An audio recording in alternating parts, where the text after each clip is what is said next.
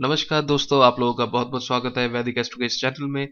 और आज हम बात करेंगे कि शनिदेव का जो बीज मंत्र है, वो कब हमें जाप करना चाहिए और मेडिटेशन हमें किस वक्त करना चाहिए।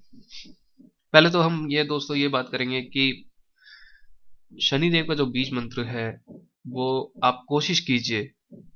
पहले तो अब शनि मंत्र का बीज मंत्र है क्या? वो आपकी स्क्रीन में मैं आपको शो कर रहा हूँ। वो आप नोट कर लीजिए। तो आपको शनिदेव का जो बीज मंत्र है, वो आपको सूरज ढलने के बाद बीज मंत्र का जाप करना चाहिए।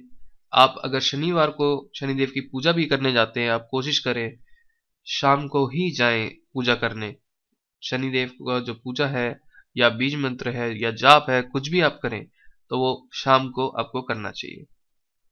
तो अगर शनिवार को आप जाते हैं मंदिर, शनिदेव को पूजा करने, जैसे शनिदेव की तेल चढ़ाने या शनिदेव को बादाम चढ़ाने, कोई भी अगर शनिदेव के लिए आप आराधना करने जाते हैं तो आप कोशिश कीजिए आप शाम को जाइए। और जैसे आपको अगर जाप करना है, बीज मंत्र का तो आप कोशिश कीजिए सोने से पहले आप इस जाप को कर लें।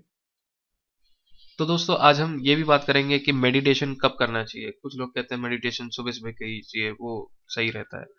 या भोर टाइम जो भोर जो होता है, एकदम सुबह सुबह, प्रातः, उस टाइम करना चाहिए। दोस्तों मेडिटेशन जो है, वो एक कनेक्शन है। वो एक आत्मा के साथ कनेक्टिविटी होती है। आत्मा परमात्मा से मिलने की कोशिश करता है।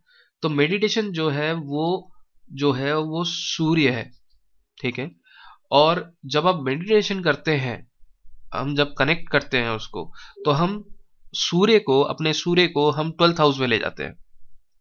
और दोस्तों, अगर हम वो चीज़ दिन में करेंगे तो अगर हमारा सूर्य ट्वेल्थ हाउस में चले जाएगा, सूर्य जो है जनरली क्या लोग कहते हैं जुपिटर जो है फाइनेंस का कारक है, पैसे का कारक है। लेकिन मैं कहूँगा, जो सूर्य है, वो जो मेन ऊर्जा है पूरे ब्रह्मांड में जो सूर्य है। और सूर्य जो है, वो फाइनेंस और मनी का कारक है। अगर आप दिन में मेडिटेशन करेंगे तो there will be financial loss दिन में कौन मेडिटेशन करते हैं? जो योगी होते हैं, जिनको पैसे की ज़रूरत नहीं है। तो जो योगी होते हैं, उनको पैसे की ज़रूरत नहीं होती है। तो वो दिन में मेडिटेशन कर सकते हैं। लेकिन अगर आपको मेडिटेशन करना है, आप हमेशा सूरज ढलने के बाद ही मेडिटेशन करें।